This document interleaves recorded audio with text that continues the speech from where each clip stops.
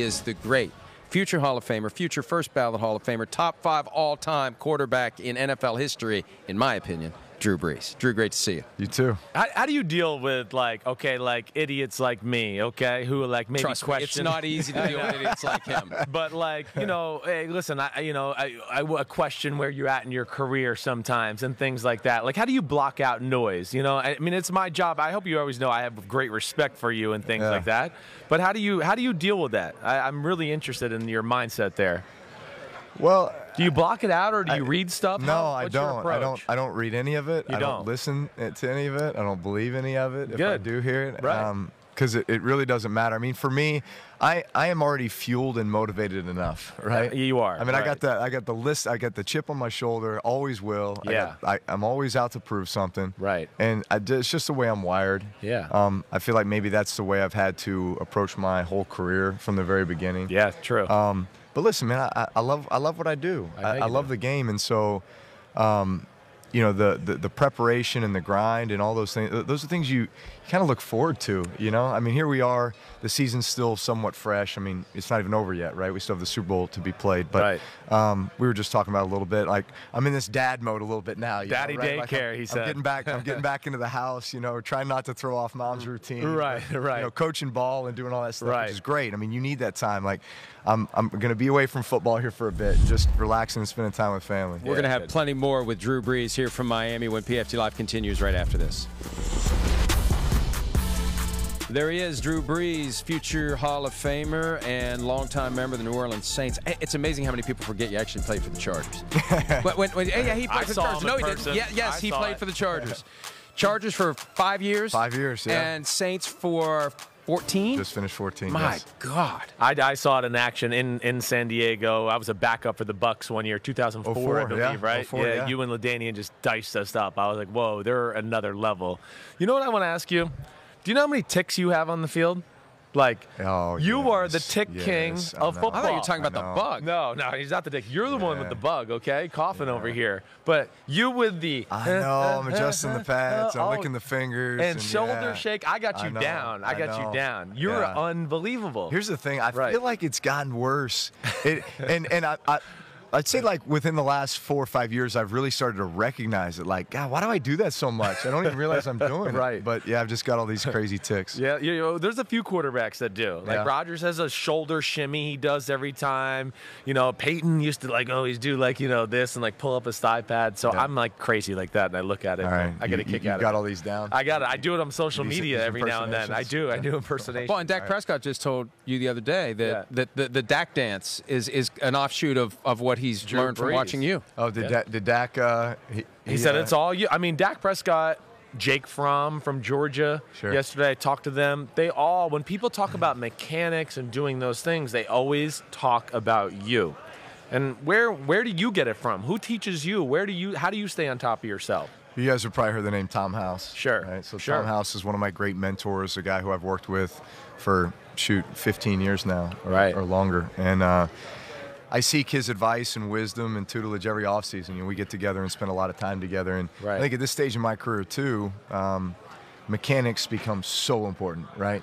Because I, I can't afford to waste an ounce of anything, right? I've got to gotta be so- maximize. I got to maximize. Got to be so Right. efficient, and so um, I do pay a lot of attention to mechanics, and I do a lot of stuff just to get the body warmed up. Sure. It involves a lot of those movements, Right, That, right. that go into throwing a football. Right.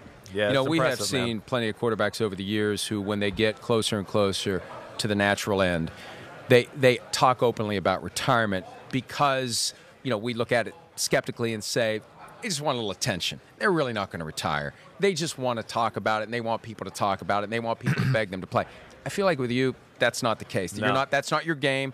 That's not what you're doing. You are seriously, seriously thinking about whether or not to come back next year. Yeah, I'm, and and I told, listen, I, I've had a process, you know, each and every off season. Um, I mean, listen, let, us go back to 2014, 15, 16 with the Saints. You know, those were tough years, right? Um, and to give a little history there, there was kind of a shift, shift with our team, our locker room after the 13 season.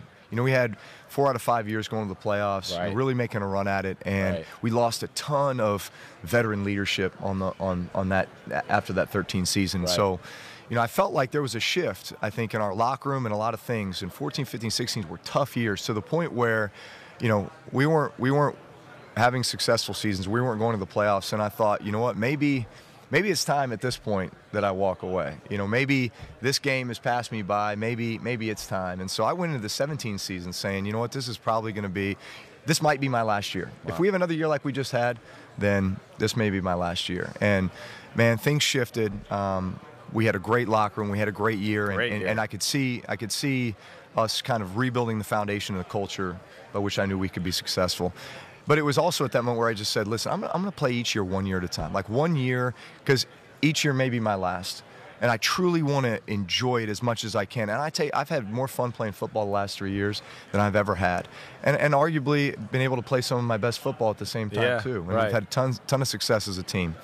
So I've just taken that approach. And I don't, I don't want to take it for granted. I also don't want to just kind of jump to conclusions. So, man, this season ends, and it's like, all right, I'm, I'm going to take a deep breath here. I'm going to um, just enjoy some time with my family, and I'm not going to make any decisions. I'm going to give it a little while here and let everybody know where I'm at in a few, in a few weeks. Yeah, good for you. You should. You, I mean, you you certainly deserve to do that, man. I mean, it's been awesome to watch, and like I'm, I'm always fascinated by you and like Sean Payton, just the combination. Like for you, what is it that makes Sean amazing? Because he talked about you the other day. Like, what is the one thing where you just go, "This is why he is Sean Payton"? Uh, You're both psychos, so that fits well right. Right. Sean Sean has a great way of uh, blo- taking all the noise and all the distraction and all the stuff that's happening um, outside the building and maybe even inside the building at times and just narrowing it down to a very singular focus. Right. Like guys, this is what it's going to take to win this game, right? And this is this these are the positions I'm going to put you in to do it, right? I think he's he's a great teacher Yeah. he he he has he has a gr- you know he spent a lot of time with Parcells right and so there's a lot of Parcellisms you know in, in- in- Psychology, in, in, the way that he coaches Right. and yet I think he does it at times in a humorous way a fun way maybe a little bit more of the new age Yeah, right right. than Not the so old much in your school and yet it's it, it's that, that part's in him as well you know Right. so I think he's a great blend of both he's a tough but fair coach always open door policy Yeah. if you want to know where you stand on the team, you can go knock on Sean Payton's door, and he will be honest with you, and he will tell you. Yeah. Um, And he's he's highly competitive.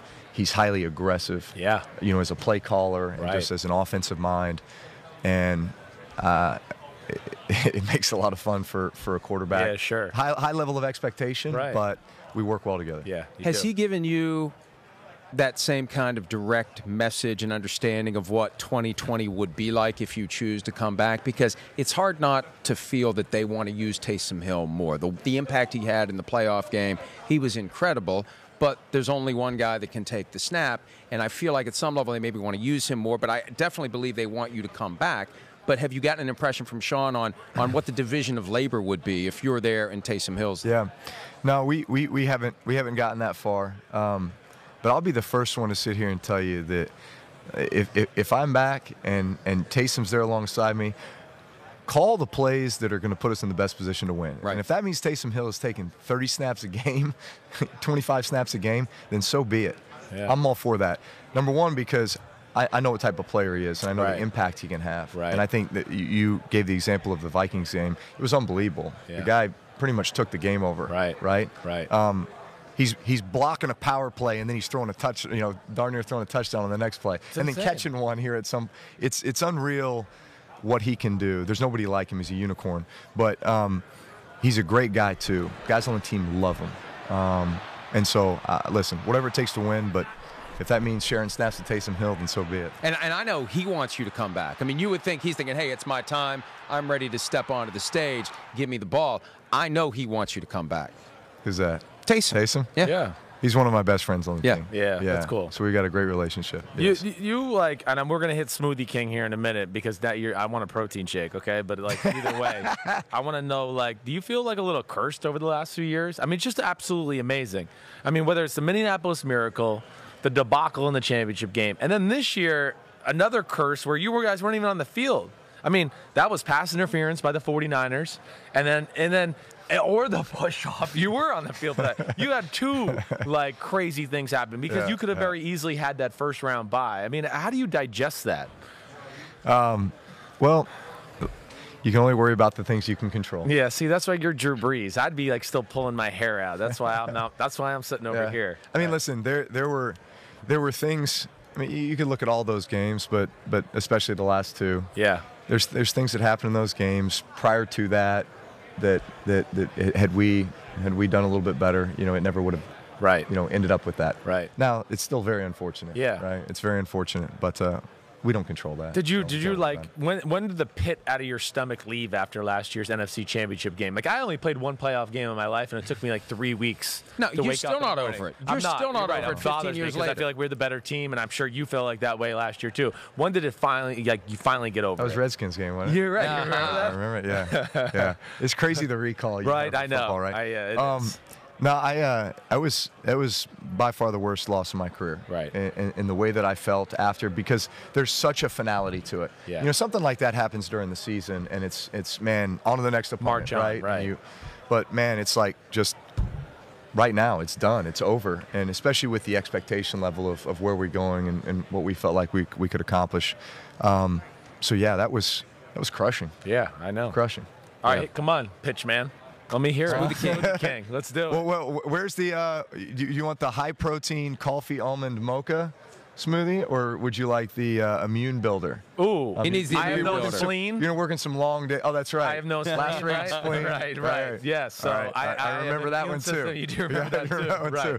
Yeah. Right. Yeah. I know. I was so disappointed in 2006 because you came to the Saints and I was the starter in Tampa and got hurt that year. And I was looking so forward to, oh my gosh, I'm going to play against Drew Brees and all these things. And uh, yeah, it didn't happen. But yeah, I want the immune builder. We need, we need the immune builder. Yeah. No. So, uh, S- Smoothie King's part of, part of my uh, my season and off season routine. I Yeah. love taking the boys there, but um, fitness, plenty of fitness and wellness blends. It's they've been a great partner too um, with some of our youth sports programs and our foundation. So, um, Smoothie King's a great been a great partner. Yeah. Yeah. Chris I've, is uh, doing Chris is doing his best to get his own sponsors. He he is going over Is he? the top with I'm not. the I'm not. yes, I he is. Yes, I you are. I mean, All I go over the top because like Smoothie King probably Here paid him a lot of money, and I just want to give them So their is due your, diligence. is your pitch going to be? I, I uh, Chris Simms here. I don't have a spleen, but Smoothie King keeps me keeps, Keeps me healthy. from getting sick Uh-huh. and getting herpes on my lips and all those Oh things. God, here we go.